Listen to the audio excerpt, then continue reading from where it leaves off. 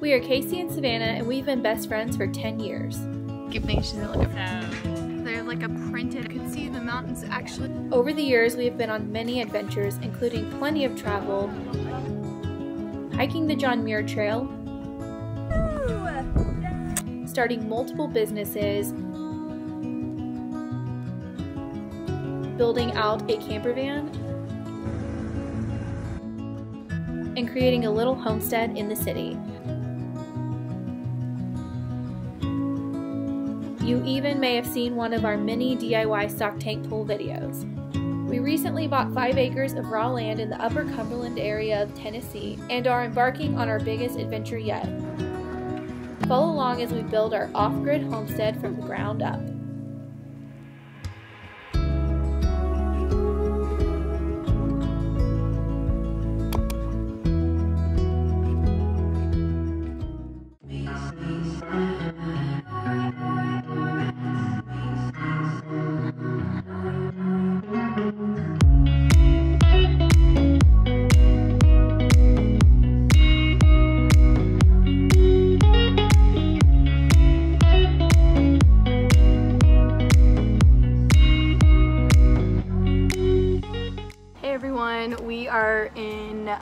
Uh, Florida at the beach this week, which is why I have this like crazy sunglasses tan. We are leaving tomorrow, so when you see this video, we'll actually already be back at the land. But today we are going to be making salt. So this is something that we've done on another vacation and we actually really loved the results and you may be thinking, what does your vacation in salt have to do with homesteading? It has a lot to do with homesteading because homesteading to us is a lot of things, but one of those things is learning and trying new things in regards to preserving and harvesting your own food. Whether it is growing meat chickens to harvest for meat or growing our garden or um, going to the ocean and making salt. That's all stuff that's really interesting to us. Salt is one of those things that you probably don't think about making on your own and I will say the way that we are doing it is not necessarily sustainable but it is something that is interesting um, if you are if you want to just try it out on your next vacation um, anywhere any ocean that you go to you may have been never even in a journey of trying to produce more of your food thought oh what about salt? It's one of those things that you use a lot of not like so much that you would need to make gallons and gallons for the whole year but you use it on everything. It's like sugar. It's kind of just this thing that you may not even know where it comes from. Salt actually can come from a lot of different places and there's a lot of different kinds of salt but today we are talking about sea salt. So in order to make sea salt you will need sea water. Bottle.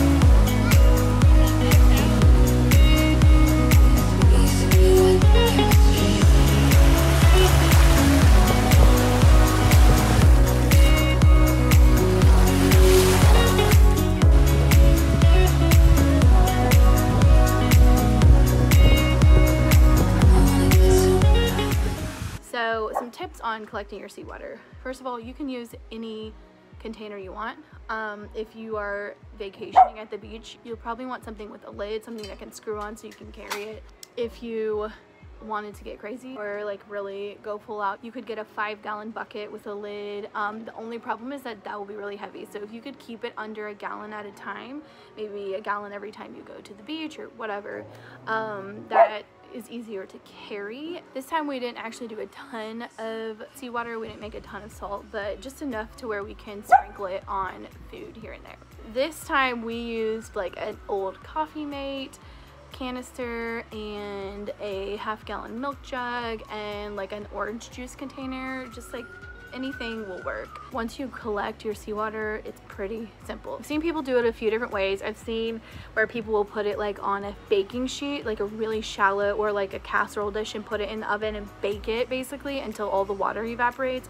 And then they stick, they'll have like this thin sheet of salt and they'll break it up and stick it in a blender. And then it's like this really fine powder, which how do you even use that? That's not a very usable way to have salt. If that's what you want, that's how you can do that. But the way that I've done it is the way that I like the best. and you put it in a big old stock pot and then basically you're just gonna let it boil until all the water's gone.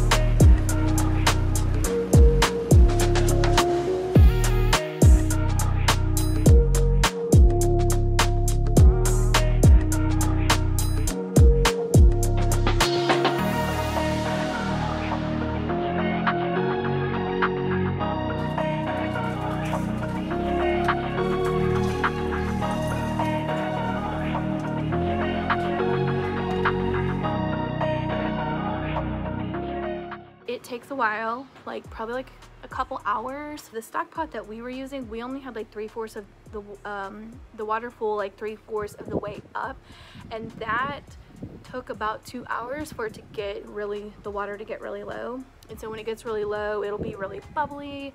At that point, when it's really low, you're gonna stir the water until it completely dissolves because if you don't it'll start sticking to the bottom and then you will have a problem and you'll start having like really hard chunks and then you'll have to do some kind of breaking it up which you don't want to do because once it dries up it's really hard to manipulate it by hand.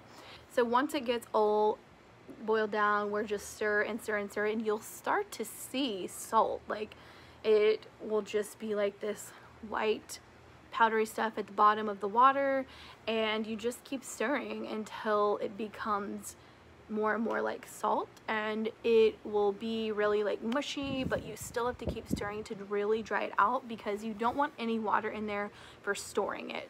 When you're stirring it until it dissolves it becomes more like a flaky sea salt and when you look at it it honestly doesn't look like flakes per se it's it's a bigger piece of salt where it's more like you might want to top your food with it and not like pour it into something to make um, like as an ingredient mixed into something i mean you can do that but it's more for me for us it's more like a finishing salt but you can use it however you want to. But this method kind of makes it that kind of like chunky um, I don't know, just like PC. Our favorite way to store it is just in a glass jar with a lid. If you're like a long time homesteader, something like making butter might be something that you do all the time.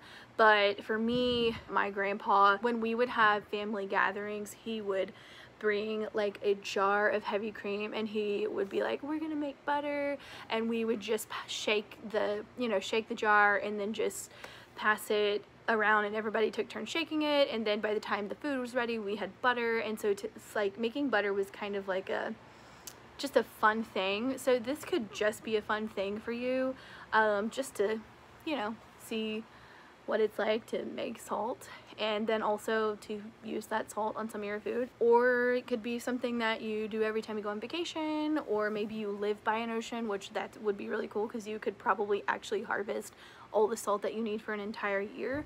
We live really far from the ocean, so we're not going to be uh, doing that anytime soon. So this is obviously a really short video because it doesn't take that long to explain how to make I hope this was interesting to you. If it was, definitely give this video a thumbs up and let us know if you've ever made salt before or if you're interested in actually trying this the next time you are near the ocean. Also, you could just take the water home with you and make salt at home. We did it because we don't have the any kitchen set up at the land. We just used the kitchen while we were here to make it and we're actually in the process of making a second batch so we can have a little more salt to take home with us but a little thing of salt is easier to carry than like two gallons of water. So if you're new here, we post a video every Sunday and we post about homesteading and living off grid and producing food and gardening and lots of different things. Definitely subscribe if that's something you're interested in and come back next Sunday to see what we're up to. Thanks so much for watching guys. Bye.